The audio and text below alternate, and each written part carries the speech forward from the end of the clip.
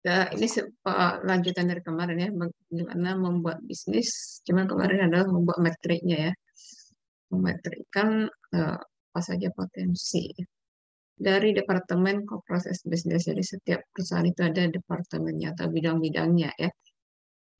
Pembentukan departemen adalah menimbulkan permasalahan fungsionalitas. Ya.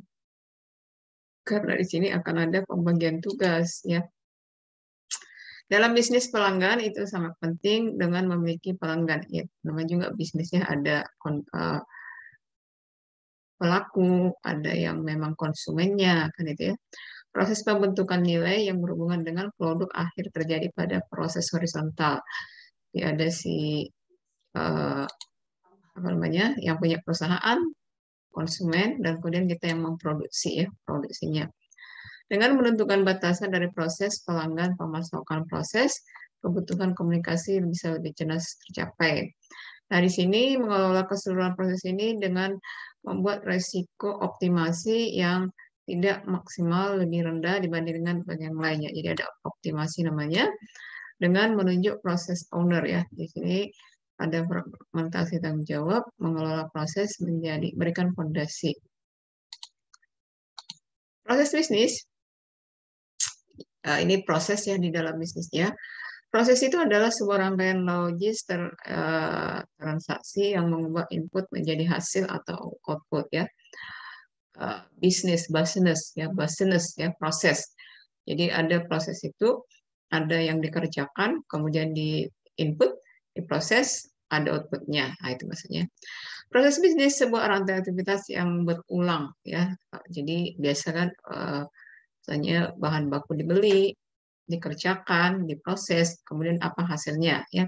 Jadi itu berulang terus yang menggunakan sumber daya perusahaan. Sumber daya perusahaan ini uh, banyak ya, tidak hanya manusianya, SDM-nya, eh, banyak ya, untuk mengelola sebuah objek fisik atau mental dan untuk tujuan mencapai uh, produk atau hasil. Jadi di perusahaan itu ada produk hasilnya, yang ditentukan untuk pelanggan internal maupun eksternal ya. Jadi uh, ada si pembuat si produksi ini langsung berkaitan langsung dengan si uh, apa itu hasilnya ya uh, konsumennya. Tapi ada juga beberapa tahap ada dibutuhkan di bidang pemasaran ya bidang apa namanya ekspedisi gitu ya. Jadi tidak langsung.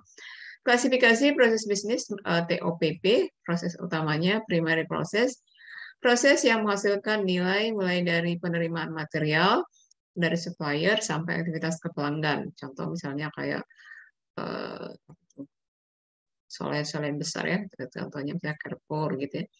Mereka punya uh, apa itu namanya menghasilkan nilai mulai dari penerimaan material. Jadi di sini mereka sudah ada uh, aktivitas ya ada yang mensorting menentukan uh, apa namanya kualitas si swalayannya sampai nanti si pembeli uh, datang membeli ya aktivitas ke pelanggan.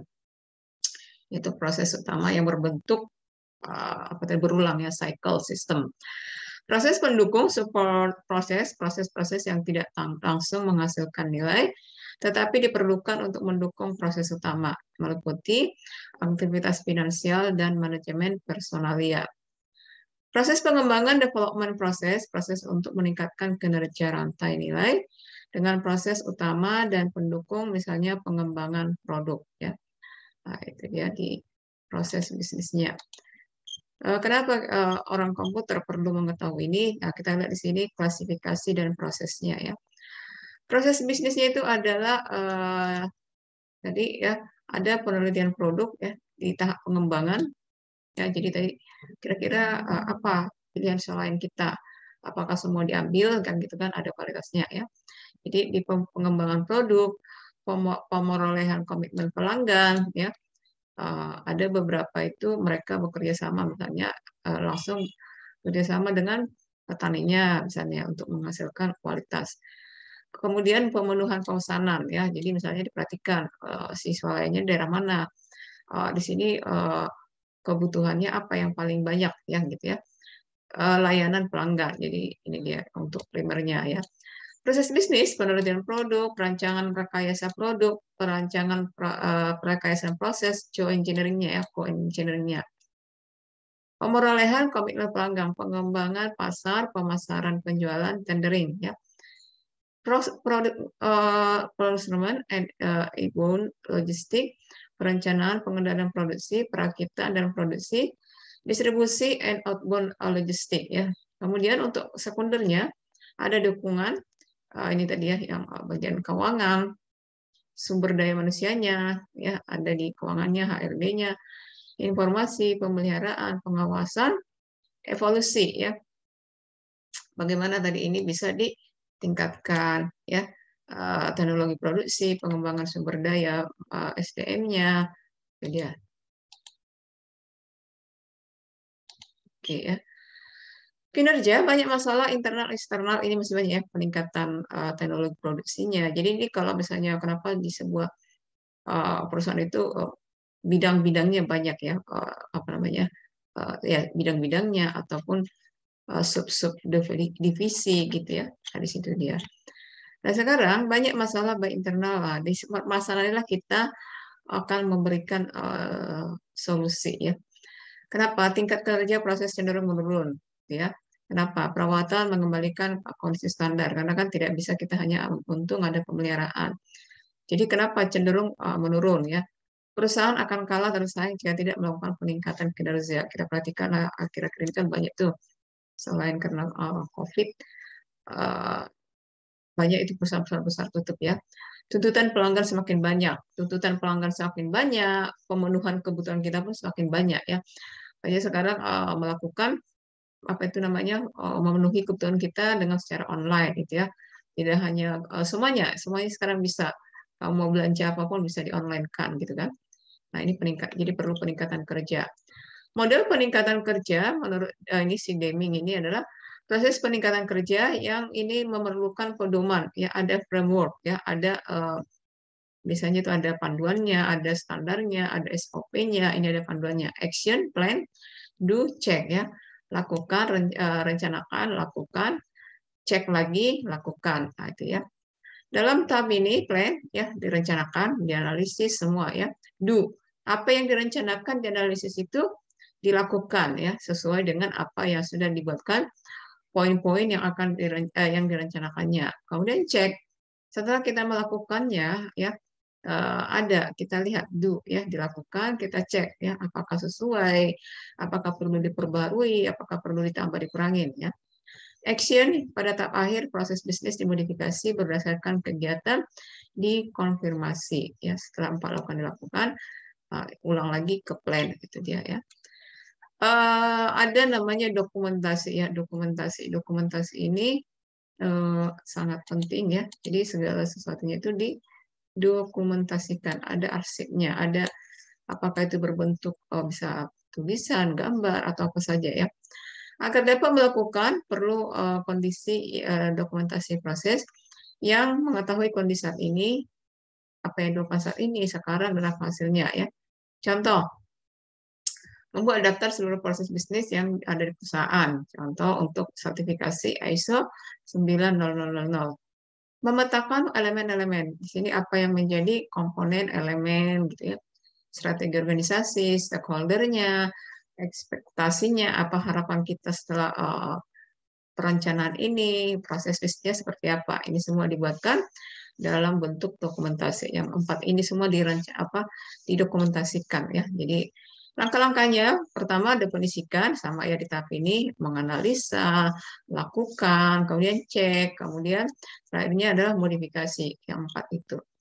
Mendefinisikan dan mendeskripsikan secara kualitatif menggunakan relationship mapping ya. Itu yang kemarin ada metriknya, apa hubungan antara oh, pekerjaan dengan kemampuan si A apakah dia tepat untuk itu ya dipetakan ya di di map relationship mappingnya ya. Siapa konsumennya apa outputnya siapa pemasok ke mana? Jadi misalnya kalau kamu oh, apa yang membutuhkan pemasoknya untuk uh, apa itu namanya kebutuhan sehari-hari ya siapa ya? Bagaimana penginputannya jadi setiap perusahaan seperti itu tadi contoh kita masalkan selain saja ini sudah semuanya sudah jelas ya Eh, siapa pasar pangsa pasar yang akan dicapai, siapa pemasok, kemudian bagaimana alirannya. Tidak bisa misalnya kamu punya hasil langsung kamu jual ke selain, oh ya enggak, mereka punya sudah ada semacam MOU-nya dulu ya. Flowchart ya, flowchart uh, cross functional flowchart dan several level flowchart. Jadi di awal uh, di mata kuliah APSI, gimana lagi ya? Rekai ini rekayasa tentang informasi, flowchart itu sangat penting ya. Flowchart itu menggambarkan skema, bagan, memudahkan kita memahami apa yang sedang terjadi dan apa yang akan dilakukan ya. Itu di terlebih untuk proses bisnis. Cross functional flowchart menggambarkan kegiatan siapa yang melakukan di departemen mana mereka berada. Itu tadi ya. Misalnya penginputan, kualitas, pemasok di mana, siapa yang menerimanya, siapa uh, leadernya di situ, ya departemen mana. Several level flowchart ini adalah uh, menggunakan flowchart biasa ya cross fungsional yang ini tadi, kemudian dibagi lagi tingkatannya lebih di spesifik spesifik lagi ya. Relationship mapping ya, mapping. Jadi uh, kalau kemarin kita buat metrik ya itu memetakan juga. Mapping itu ya semacam memetakan, memberikan gambaran umum mengenai siapa yang terlibat ya. Apa siapa yang terlibat, apa hubungannya. Uh, itu dia ini contoh uh, dibuat tanda panahnya. Tanda panahnya ada yang searah, ada yang bolak-balik ya. Relationship map dibuat dengan menggambarkan berbagai unit, departemen, individual, mempengaruhi proses. Kemudian setiap hubungan ini ada dianalisis. Elemen yang tidak punya hubungan, nah ini dia ya. Jadi supaya tidak ada pemborosan, yang tidak ini kan ada nih, ada bolak-balik ya tanda panahnya, ada yang hanya searah. Nah, untuk hubungan yang tidak ada itu dihapus ya atau ditiadakan ya. Maaf digambar ulang. Ini contohnya. Ini contoh flowchart ya. Kita sudah buat flowchart. Misalnya kamu apa membayar uang kuliah, siapa aja yang berkaitan. Ada uh, orang tua tidak ada masalah ya kamu bayar ke admin, mungkin admin store ke bank, kemudian nanti kamu dikasih kwitansi, nah, itu di kwitansi yang kamu simpan. Itu termasuk cross functional flowchart ya, alin ya, cross ya berjalan informasi tambahan siapa yang melakukan dan di departemen mana. Jadi jadi kamu mau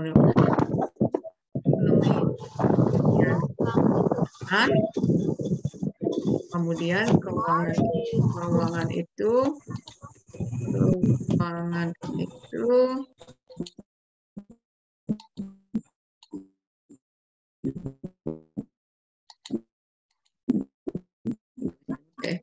Nah, ini contohnya ya. Ini kalau kita buatkan several level uh, flowchart ya, ini level nolnya level 1 ya. Customer, ordering, production planning, pro, pro, procurement, manufacturing, delivery. Kalau di APSI ini sangat jelas ya, harus bisa ya, harus bisa membuatkan menerjemahkan setiap kegiatan proses itu dalam flowchart. Ini ada level 0. Ini diturunin lagi, orderingnya diturunin lagi ya. Apa uh, di ordering itu uh, Nah, itu dia. Jadi uh,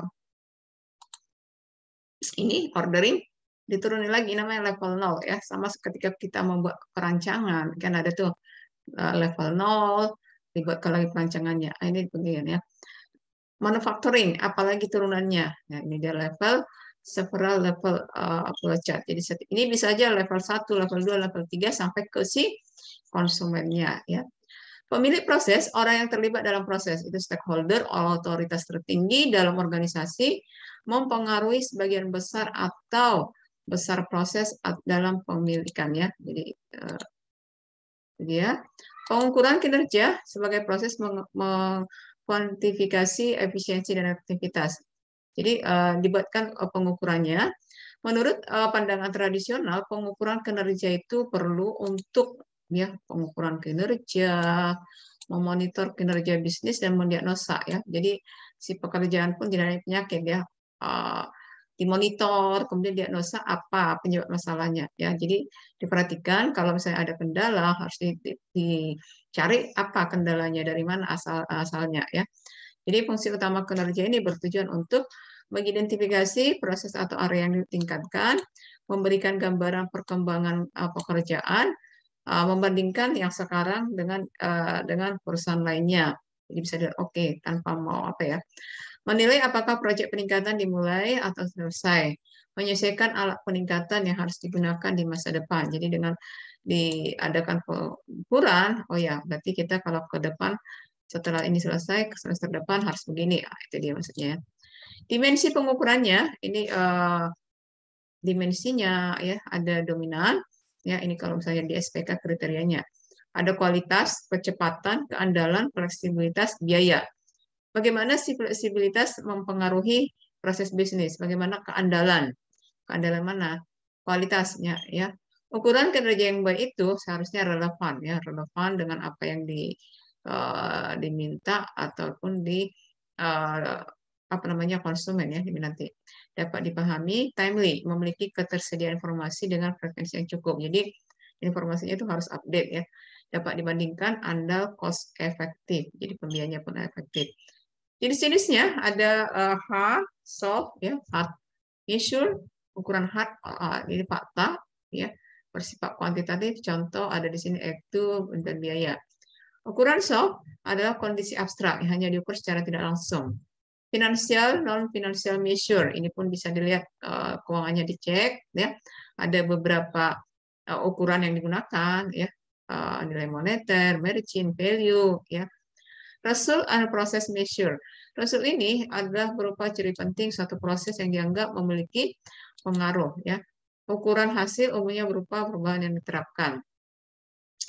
Measure defined according to purpose itu menuju ke tujuannya. Ya. Ini tadi adalah jenis-jenisnya. Jadi ada hard uh, measure-nya, ada finansialnya, ada result proses measure-nya. Membuat ukuran kinerja ya. Di sini diawali dengan uh, deskripsi numeris dari satu kerja. Misalnya jumlah uh, pegawai 50 orang, persentase dari uh, yang akan memasarkan berapa orang. Juga ada semacam hmm, deskripsi yang dideskripsikan semuanya ya dengan satuan ukuran. Jadi uh, jumlah misalnya ukuran itu misalnya orang apalagi jumlah uh, apa jenis pekerjaan. Jadi ada ukurannya ya terukur. Dilanjutkan dengan mendeskripsikan apa yang diukur. Contoh, waktu untuk memproduksi berapa jam, waktu untuk menghasilkan berapa lama sih produksi untuk sebenarnya membuatkan sebuah uh, apa itu namanya model sepatu ini gitu ya berapa. Nah persentase barang yang diproduksi setelah semua berapa ada dari 50 yang diproduksi satu hari ternyata ada dua yang cacat ya gitu ya perbandingan jumlah penjualan semester awal dan akhir. Eh, di awal penjualannya 150, eh, di akhir hanya 70. Nah, seperti itu ya. Jadi eh, semuanya menggunakan terukuran ya, keterukuran. Jika mungkin gunakan kata per ya. Jadi jumlah waktu jadi si bidang A memproduksi bagian sol sepatu apa itu misalnya 50 per minggu misalnya ya. Jadi semua dibuatkan Tahapannya ini ini ini bisa dibuatkan dalam bentuk flowchart tadi ya. Identifikasi hubungan semua proses, kemudian definisikan, tentukan misi, tanggung jawab, uraikan identifikasi proses, uraikan lebih lanjut hubungan antara target antar hakiki. Self assessment, self assessment ini teknik mengevaluasi tingkat kinerja. Jadi tadi ada diukur ya, ditentukan apa dimensinya, ditentukan ukurannya, apa jenis ukurannya, Kemudian self ya, assessment, evaluasi. Setelah semua diukur ya, lakukan pengevaluasian self assessment atau evaluasi diri, teknik untuk mengevaluasi tingkat kinerja perusahaan dan proses bisnisnya yang dilakukan oleh perusahaan sendiri. Perbedaan antara self assessment dan uh, performance measurement, self assessment itu evaluasi, performance measurement pengukuran ya. Waktu pengukuran, performance uh, secara berkelanjutan, fokus, performance measurement mengukur secara detail. Manfaatnya, hasil performance measurement digunakan untuk kegiatan operasional rutin dan memonitor peningkatan. Hasil self-assessment digunakan untuk menentukan area peningkatan jangka panjang. Manfaatnya, organisasi dipaksa untuk melakukan uh, itu tadi ya ada uh, suatu target ya karena ada di sini measure ya pengawasan evaluasi membuat sistem self assessment. Jadi perlu membuat self assessment, apa namanya mengevaluasi sendiri ya. Membuat sistem pelaksananya, membuat ukuran kinerja pada tingkat proses. The Malcolm Brigel National Quality Award adalah suatu bentuk penghargaan lengkap kualitas pada tingkat nasional yang mengetahui keunggulan kinerja organisasi Amerika Serikat di sektor bisnis medis. Jadi kalau di Indonesia pernah ada semua itu bidang-bidang itu diawasi ya, dibuatkan uh, penghargaan jika melakukan uh, itu ya, kualitas ya tingkat nasional. Jadi ada standarnya itulah yang ISO itu tadi ya.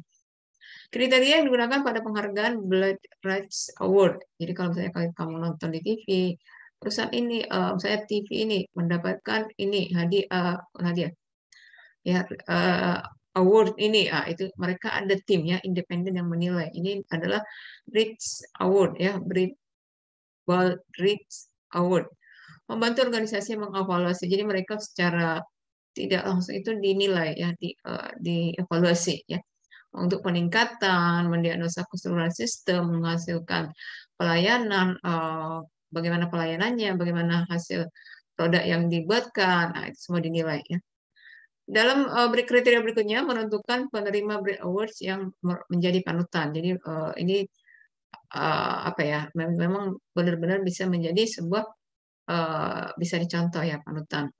Memperkuat daya saing. Jadi dengan adanya evaluasi dari independen, Uh, terhadap perusahaan-perusahaan. Jadi setiap perusahaan itu menjadi uh, meningkatkan praktek, memfasilitasi komunikasi dan berbagai komunikasi, bertindak sebagai tool memahami dan mengelola kinerja. Ukuran kinerja pada self-assessment, proses-prosesnya berjalan baik, prosesnya harus ditingkatkan ya. Jadi harus semuanya berfungsi berjalan sesuai uh, keseluruhan ya, tidak hanya sebagai keseluruhan. Tantangannya adalah uh, self assessment ini adalah proses harus berperan ya. Ini dia. Elemen-elemennya tadi ada proses bisnisnya seperti apa, ukuran kinerjanya seperti apa, rencana analisis seperti apa. Nah, kita perhatikan ini bagaimana dalam membuat ini trend analisis ya. Spider chart ini hasil uh, apa itu namanya? Uh, seluruh yang tadi penilaian tadi ya. Ini hasil trend analis ini penilaian ini tadi yang proses bisnis, ukuran kinerja, rencana ini ada tiga ya hasilnya atau dibuatkan dalam bentuk grafik ataupun dashboardnya. Ini trend analisis ya, ini trend. Jadi kalau kamu memperhatikan sekarang kan semuanya uh, menggunakan analisis ya. Spider chart, uh, chart yang berbentuk spider ya. Ini menggambarkan bagaimana kinerja usaha, cost per year product. Jadi kita uh, mereka si pihak perusahaan ini menjelaskannya dengan ini brand awards-nya bagaimana reliability-nya, flexibility-nya dengan uh, menggunakan uh, visualisasi spider chart ya.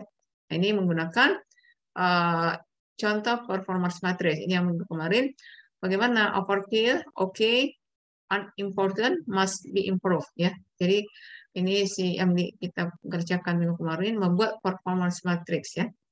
Jadi ada tiga caranya membuatkan uh, trend analisis yang ini menghasilkan uh, perkembangan tingkat kinerja, arah perkembangan diketahui melalui pengukuran saat ini dengan sebelumnya. Jadi yang mana dulu, yang mana sekarang. Kita lihat di sini jumlah penawaran yang dimenangkan, jumlah produk baru, waktu pengiriman. Nah, di sini kita harus bisa membaca uh, trend analisis dengan grafik ya. Spider chart ini tadi ya. Uh, spider chart ini adalah untuk membandingkan kinerja perusahaan dengan perusahaan lain. Ini tadi makanya produk awal, produk akhir, bagaimana kinerjanya, ya pengirimannya. Nah, kalau si spider chart ini melakukan pengukuran antara perusahaan, ya hasilnya berupa perbandingan, data inputnya analisis pasar, statistik industri dan lain-lainnya. Ini performance matrix yang kita buat kemarin. Kriteria testing ya, contoh ini dibuatkan dalam bentuk uh, tabel ya, ini biasanya metrik juga kayak. Jadi misalnya dibuat penilaian template tempatkan CSP 35 ya. Nah, ini dia. Bagaimana business prosesnya? CSP-nya berapa? Satu. Jadi di awal ditentukan skor di sini ditentukan satu dan tiga sampai tiga.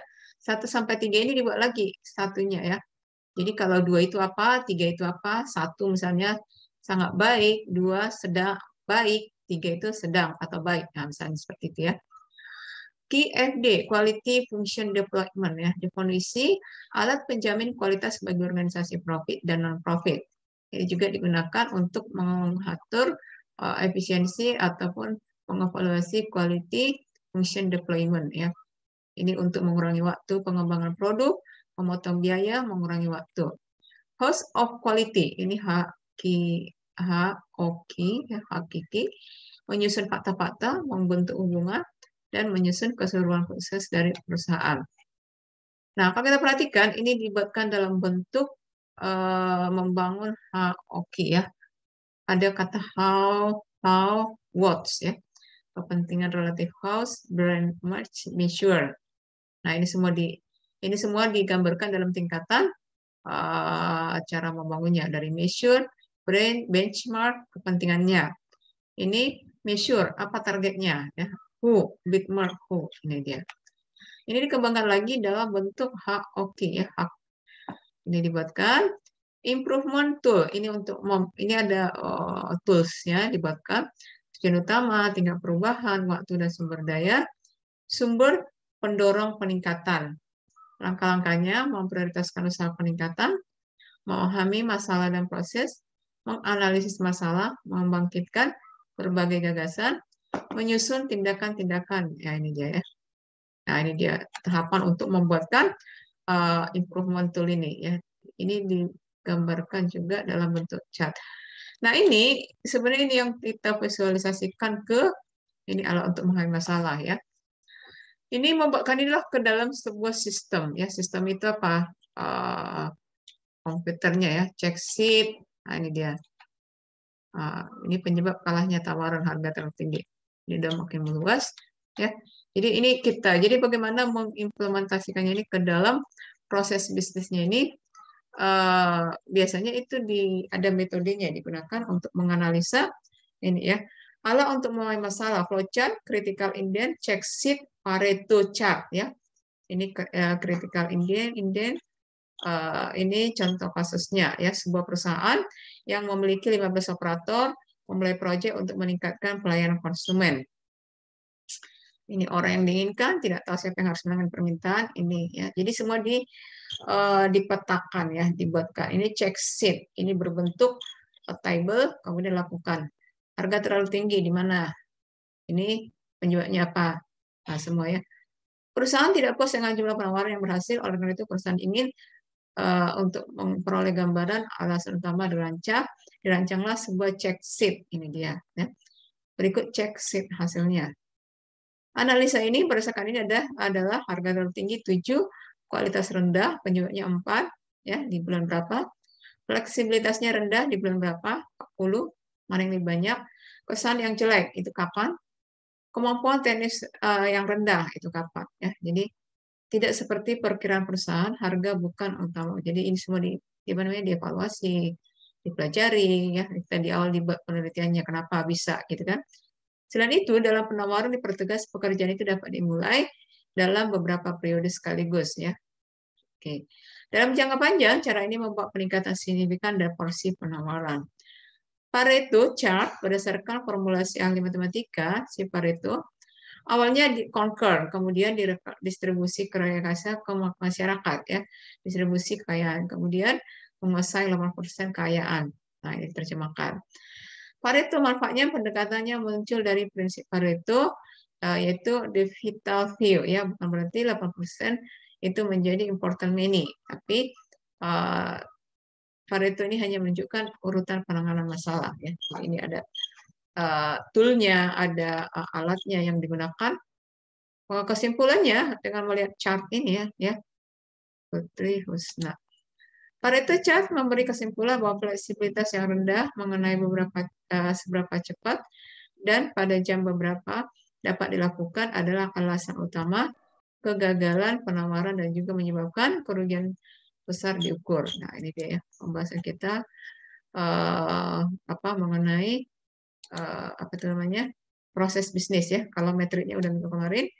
Nah, yang sekarang yang perlu dibuatkan kalian adalah hmm, ini flowchartnya aja ya. Jadi bagaimana membuatkan dan memang uh, ini harus ada perusahaan ya sepertinya harus uh, apa namanya harus melakukan uh, semacam uh, apa namanya untuk membuatkan level seperti ini ya menentukan several yang dua ini ya uh, menyusun flowchart ya flowchart untuk uh, gambaran grafis kegiatan untuk uh, bisnis uh, proses bisnis ya.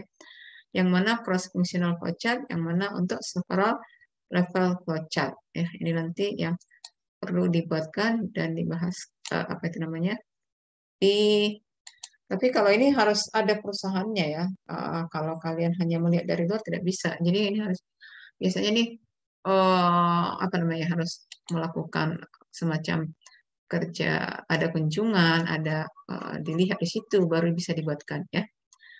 Oke, ini uh, yang ini model kinerjanya yang perlu kalian ulang di sini adalah ini aja ya. Uh, kalau flowchart seperti ini ya, minggu kemarin udah dibuatkan ya cross membuatkan cross fungsional flowchart uh, antara yang dua tadi ya cross dengan uh, apa namanya cross kamu pilih apakah dia di uh, apotik ataukah di uh, sebuah gudang ya. Jadi kita buat di apotik ataukah di uh, sistem informasi gudang ya. Jadi buatkan several dan crossnya ya. Itulah uh, pembahasan kita pagi ini. Oke, ada pertanyaan uh, minggu kemarin yang Ibu lihat tadi apa tugas yang sudah dikerjakan ya? Minggu kemarin ada tugas? Tidak ada ya? Ada tugas minggu kemarin? Tidak ada? Tidak ada, Bu. Kalau tidak ada ya. Jadi, uh, yang meter itu tidak dibuat.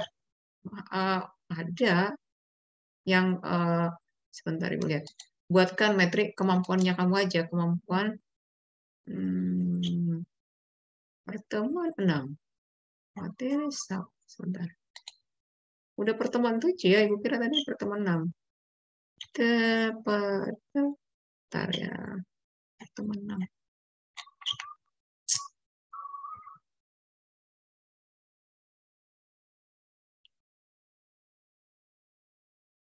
tujuan uh, ada loh nggak ada ya?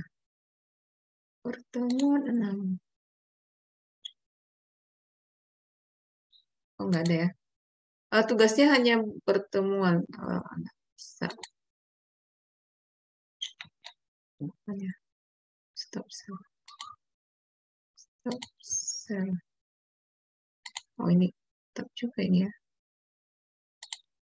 kalau tidak ada tidak masalah.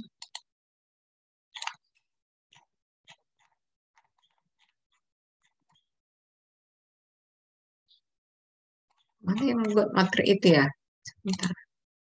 Open with sit sit sit sit